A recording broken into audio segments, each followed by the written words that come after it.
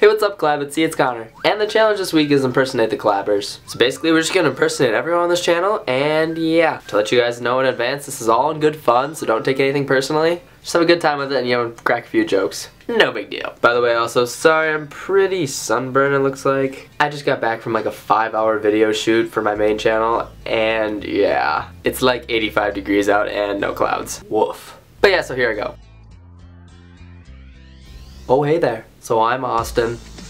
I've been missing lately, somewhere in outer space, I think, playing the ukulele or drawing a bear.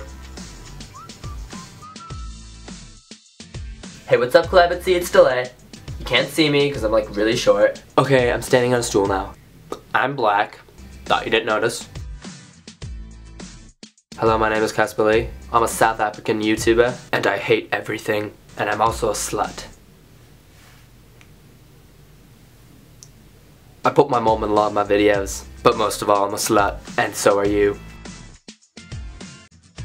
Howdy! I'm Tara, like Tara Fruit or Tara Bright. I'm the coolest cat that's ever been in town. This is the cat that's been around. Oh look, now I'm over here. Tara, why is it so hard to be you? You're too random, I can't be you. Next person.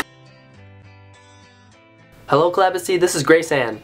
I don't particularly know why Connor picked me for this channel. I mean, I'm kind of weird, but I love doing things in public. And I'm a crack hoe. So that's a thing. I enjoy music and the dance. I'm going to Boston for school next year. this is a horrible challenge. I can't think of how to act like you guys. Hey, what's up, Collabatsea? It's Caitlin. And this is my boyfriend.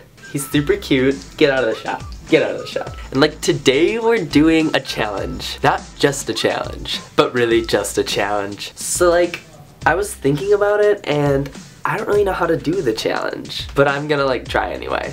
oh god, this is horrible. okay, so uh, yeah, that was my attempt at impersonating you guys. I'm really sorry if I offended any of you, because I probably offended all of you. I just found out that I'm apparently very bad at impersonations. so hopefully you guys are better. Uh, good luck with it, and yeah, I'll see you guys next week. Okay,